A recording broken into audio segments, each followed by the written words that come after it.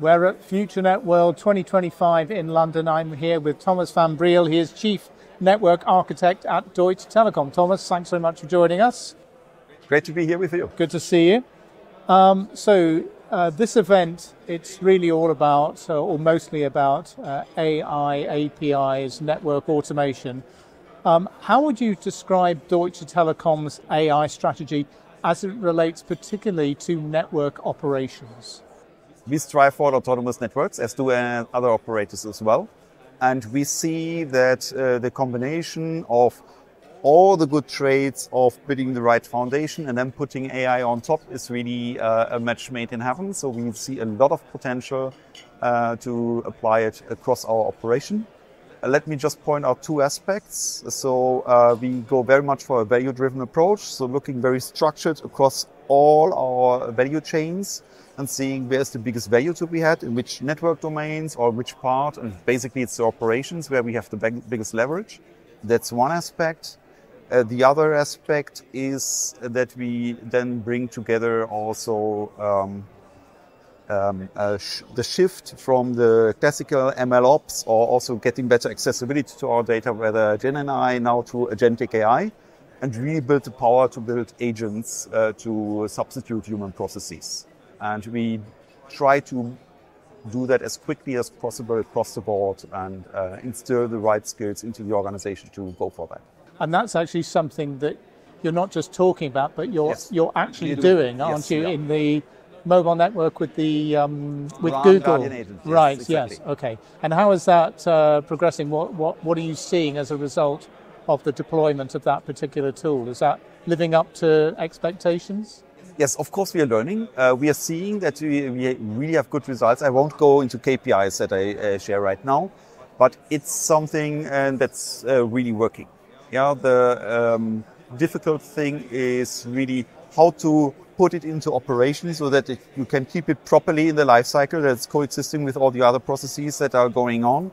So that's where we are uh, still learning a lot. But we see that if you go for clearly defined business problems that are sufficiently narrow, then it's also manageable to go through the learning curve comparably quickly. Are there any other particular telco AI use cases being tried out in particular parts of the Deutsche Telekom empire, for example, in, in certain European operations where you're trying it in one country first or even part of a country to kind of prove it in and see how it works before rolling it out in, in other markets? That, that is a very usual pattern that we have. Uh, we have communicated also at uh, the last Capital Markets Day um, last year that uh, we strive for higher synergies across the footprint, and that's one of the basic patterns that we apply. If it's of interest, um, you asked what is then something else that uh, we look into where we see a big value. It's definitely in fiber rollout, where we see that uh, we have made good progress to really bring the data together across all parts of uh, the operations, so we have a good foundation. And then, for example, um, substituting human work to reconcile the actual construction progress uh, taken on uh, with a camera on site, with builds being sent by a partner, uh, and then matching now is the depth of uh, the digging really to what we see on the bill, and is the actual progress in line with what we expected, and then uh, bringing them up out of line situations. These kind of things are accessible to applying agents. So, um, we are going for these kind of use cases, just as an example. Now, you mentioned um, uh, the data there, and obviously the data foundations are absolutely yep. key here.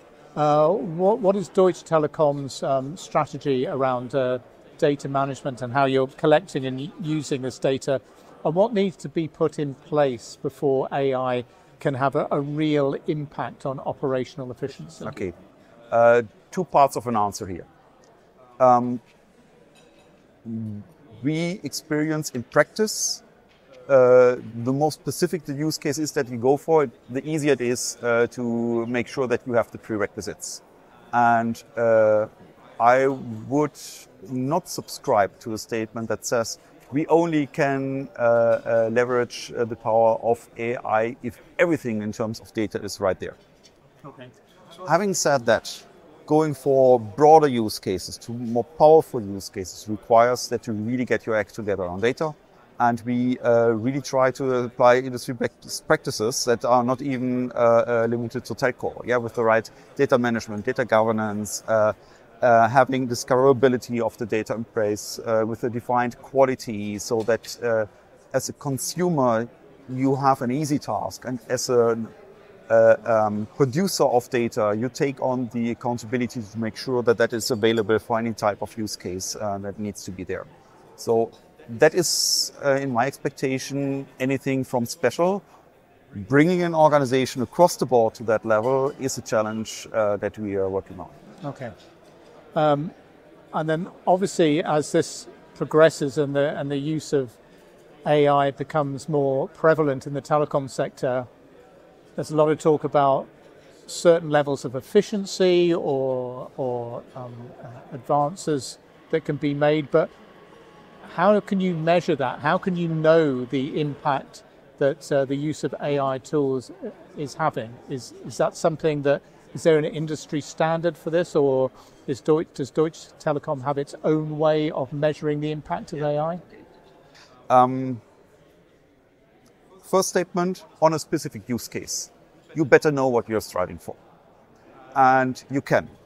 If you, for example, go to the RAN Guardian agent, we can very clearly say before, with that many people, we were able to specifically cater to that many events. Afterwards, we can uh, increase that uh, by a factor 10 or a factor 100 in terms of taking action for specific uh, events that happen in the network.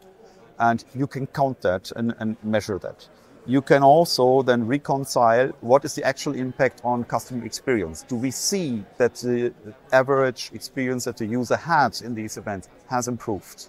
So that is possible, but you do it per use case to really optimize it going forward. And that's also a local responsibility of the DevOps team that take care of this specific use case. Second, uh, um, uh, direction on looking at the question that you are asking is how do you identify where the value is and what you should go after?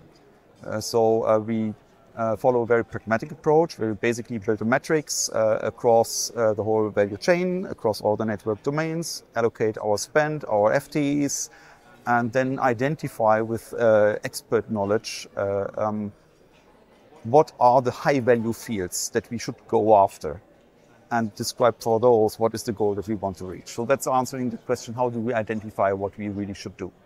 Okay, I was just wondering if, if this is something at the moment that, for example, the way you measure and the way you model that, is that something that you've developed in house that's maybe different from uh, other telcos, or is there a kind of, you know, okay, yeah, almost okay, like yeah, an agreed, yeah. Um, we have uh, looked very closely at uh, what uh, TM Forum is doing, what also uh, key players on there are doing, like China Mobile, something like that, and um, have done some things that are similar, and then some things uh, we deviate uh, uh, a little. We see that it is quite challenging to come up with repeatable, accurate uh, um, industry frameworks to measure progress in terms of autonomy grades or something like that. It is doable, but it is very, very tedious work. And the, as an industry as a whole, we are still very much in the beginning as far as this is concerned. So we tend to be very pragmatic and ra- rather solve for how do we make sure that the use cases that we're striving for actually deliver the value and being able to identify we very closely uh, um, um, watch what's going on there and uh, adopt more advanced practices as they become mature. And I think the approaches that we have are very much uh, compatible.